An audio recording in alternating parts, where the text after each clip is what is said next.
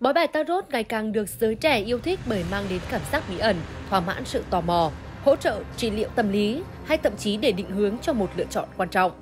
Dù tarot chỉ là hoạt động giải trí bình thường, không được xem là hình thức mê tín dị đoan. Thế nhưng từ hoạt động xem bài tarot có không ít trường hợp đã mê muội, tin bất chấp vào tarot, đánh vào tâm lý đó, các dịch vụ coi tarot xuất hiện nhan nhản trên mạng xã hội, thậm chí có dấu hiệu trục lợi. Và đặc biệt, có không ít trường hợp bị lừa đảo chiếm đoạt tài sản khi tìm tới bó bài tarot. Điển hình vào tháng 11 năm 2022, Công an thành phố Quy Nhơn đã khởi tố Nguyễn Hoàng Minh, sinh năm 1990, trú quận Bình Thạnh, thành phố Hồ Chí Minh về tội lừa đảo chiếm đoạt tài sản. Kết quả điều tra cho thấy bằng hình thức bói bài tarot, xem tướng, nhóm của Minh đã tiếp cận được nhiều người nhẹ dạ cả tin.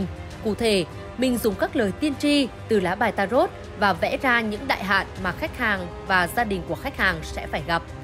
Tiếp đó, Minh dụ dỗ khách hàng nếu muốn gia đình thoát nạn thì phải giải hạn.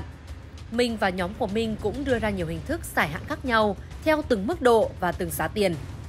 Đối với một nạn nhân, muốn giải hết hạn thì cần phải thỉnh một bức tranh vẽ tay hình Phật với giá 2,2 tỷ đồng. Và tin lời Minh, nạn nhân đã chuyển 2,2 tỷ đồng cho Minh để mua một bức tranh vẽ tay hình Đức Phật về giải hạn cho gia đình. Bên cạnh đó, một chiêu trò khác được các đối tượng lừa đảo áp dụng đó là khách hàng đặt lịch bói bài tarot trên mạng và có cọc tiền để đặt lịch.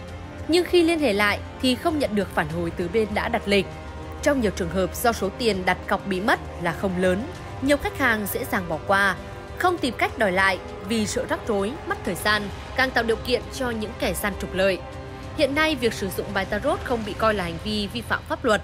Tuy nhiên, Việc bói bài tarot hoàn toàn có thể là hành vi vi phạm nếu người xem bói lợi dụng để tổ chức hoạt động mê tín dị đoan, trục lợi, lừa đảo.